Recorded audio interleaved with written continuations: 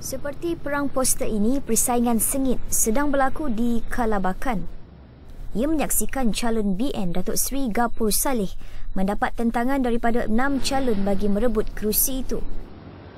Namun pertandingan tujuh penjuru itu tidak menjejaskan beliau kerana baginya pengundi cukup kenal dengan penyandang kerusi parlimen itu selama beliau berkhidmat di kawasan berkenaan.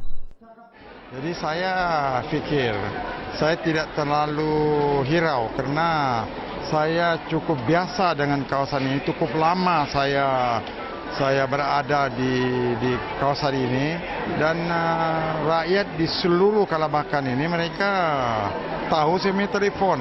Anak sekolah, orang kampung, guru-guru, mereka ini kalau ada masalah dia telefon.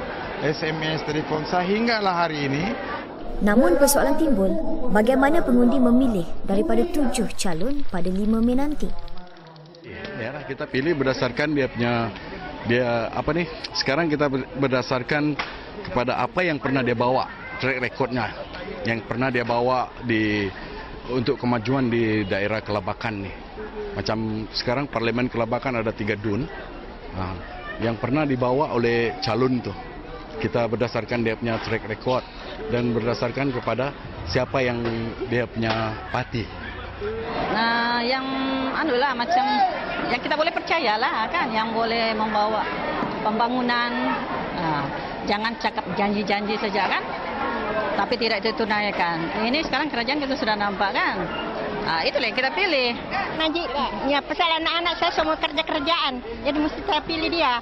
Kerajaan yang kasih makan aku, anak-anakku. Hmm, itulah saya pilih. Uh-uh. Selain Kalabakan, kerusi Dun Sulabayan juga merupakan kerusi dengan calon paling ramai bertanding pada pilihan raya.